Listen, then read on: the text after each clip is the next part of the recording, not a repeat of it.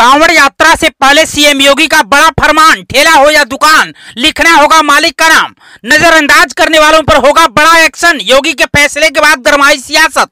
NDA के कुंबे में शुरू हुई खटपट, मोदी के हनुमान ने उठाया सवाल। योगी बाबा ने दिया धांसू जवाब। योगी बाबा के फैसले के बाद कांवड़ यात्रा से पहले सड़कों पर उतर गए खतरनाक कमांडो। मुजफ्फरनगर में बदल गई तस्वीर। योगी बाबा के समर्थन में बाबा बागेश्वर ने भी कही बड़ी बात। 22 जुलाई यानी आज से सावन की शुरुआत होने वाली है। ऐसे में कांवड़ यात्रा शुरू हो चुकी है। हरिद्वार में भी अब भोले के भक्तों का हुजूम उमड़ने वाला है। अभी से ही लाखों की तादाद में भोले के भक्त हरिद्वार पहुँचने लगे हैं।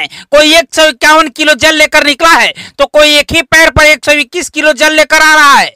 जैसे जैसे नवरात्रि नज़दीक आएगी वैसे वैसे हरिद्वार का नज़ारा बदलता जाएगा। इस बार हरिद्वार में तादाद से ज़्यादा कांवड़िए पहुँचने की उम्मीद लगाई जा रही है। इसी को लेकर अब सीएम योगी ने कमर कस ली है और प्रशासन को सख्त निर्देश दिए हैं। सीएम योगी ने कांवड़ यात्रा से पहले ऐसा फरमान जारी किया है, जिसके बाद पूरे देश में घमासान मच गया है। सीएम योगी के इस फरमान का कुछ लोग विरोध कर रहे हैं तो कुछ लोग इसे योगी का सबसे शानदार फैसला बता रहे हैं। ऐसे में उत्तर प्रदेश से लेकर दिल्ली तक सियासत गर्मा गई है। इतना ही नहीं, योगी के इस फैसले के बाद एनडीए के कुंबे में भी खटपट शुरू हो गई है। पूरी कहानी क्या है, आपको बताएँगे। लेकिन उससे पहले आपको योगी का वो फरमान बताते हैं, जिसके बाद बवाल मच गया है। दरअसल सीएम योगी ने कांवड़ यात्रा से पहले फरमान जारी किया कि कांवड़ यात्रा में पड़ने वाले सभी दुकानों और होटलों पर मालिक का नाम ज़रूर लिखा होना चाहिए। इतना ही नहीं ठेलों पर भी मालिक का नाम लिखने की हिदायत दी गई है। सीएम योगी के फरमान के बाद हिंदू और मुसलमान दोनों के लिए इस फरमान को लागू किया गया है।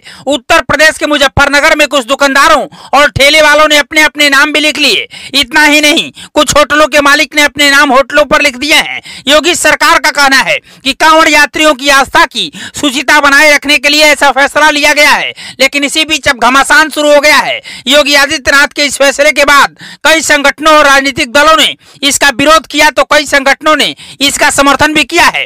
योगी बाबा के इस फैसले के समर्थन में बाबा बागेश्वर ने भी बड़ी बात बोली है। वहीं चिराग पासवान और बीजेपी के सहयोगी दल जनता दल यूनाइटेड ने सवाल उठाए हैं। जनता दल यूनाइटेड के नेता केसी त्यागी ने कहा कि कांवड़ यात्रा मार्ग में खाने पीने की दुकानों पर मालिकों का नाम लिखने के इस फैसले को सरकार को वापस लेना चाहिए। ये फैसला मोदी सरकार के सबका साथ, सबका विकास, सबका विश्वास वाली अवधारणा के विरुद्ध है। चिराग पासवान ने भी योगी के इस फैसले का खुलकर विरोध किया है। उन्होंने कहा है कि वो जाति धर्म के नाम पर भेदभाव करने वालों का समर्थन नहीं करते। योगी बाबा के इस तूफानी फरमान के बाद उत्तर प्रदेश से दिल्ली तक की सियासत गरमाई है। हालाँकि ये फैसला आस्था और पारदर्शिता को दिखाते हुए लिया गया है, लेकिन कुछ लोगों को यह फैसला रास नहीं आया। हालाँकि योगी के इस फैसले का बाबा बागेश्वर धीरेन्द्र शास्त्री ने समर्थन किया है। बाबा बागेश्वर ने कहा है कि वो योगी के इस फैसले के बाद काफ़ी खुश हैं। उन्होंने कहा कि योगी के इस फैसले के बाद कांवड़ यात्रियों की आस्था और सुचिता बनी रहेगी और खाने पीने की दुकानों पर नाम लिखे जाने से पहचान सामने आ सकेगी। योगी जो करते हैं, वो ठोक कर करते हैं और अब आस्था को लेकर योगी अपने इस फैसले से हटने को तैयार नहीं है। Fire brand CM Yogi Adityanath के इस फैसले को लेकर के आप क्या सोचते हैं? कमेंट बॉक्स में हमको ज़रूर बताइएगा और इस वीडियो को शेयर कीजिएगा। ब्यूरो रिपोर्ट, पूर्वांचल समाचार।